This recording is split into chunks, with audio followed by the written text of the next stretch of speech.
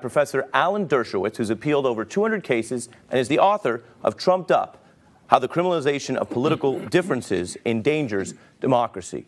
Professor Dershowitz, you have four minutes. Thank you so much. Ladies and gentlemen of the jury, I'm sure you were convinced by the brilliant argument of Mr. Mariotti that Russia tried to influence the American election. I was certainly convinced of that.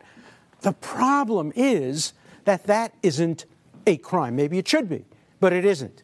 In 1812, the United States Supreme Court, right after the founding of our country, established a clear rule that said there must be a statute before there can be a crime.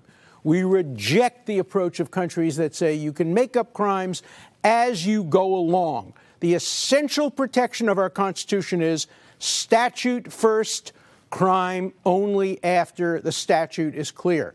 It is not a crime to collude with a foreign country. The United States has tried to influence many, many elections that have occurred in foreign countries. So I challenge my opponent to come up with the statute. He mentions conspiracy. Conspiracy is the broadest accordion like crime, but you need to have an agreement to commit a crime.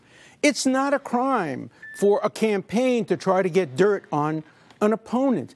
I'm going to make the extreme argument to you right here, and you will be surprised by this. Hypothetical case. I'm a law professor. I'm allowed to use hypothetical cases. This didn't happen. Hypothetical case. Candidate Trump calls Vladimir Putin on the phone during the election and says, Vlad, do I got a deal for you? I want to be president of the United States.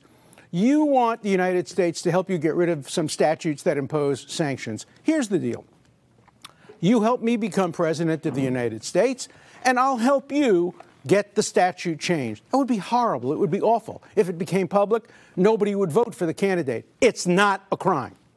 Collusion is not a crime. It's a crime in one context if two businesses collude to violate the antitrust law.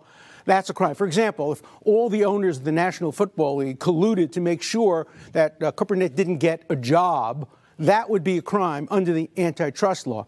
But it's not a crime simply to collude. And it's extremely, extremely dangerous to target people because you don't like them. You know, yesterday it was Hillary Clinton.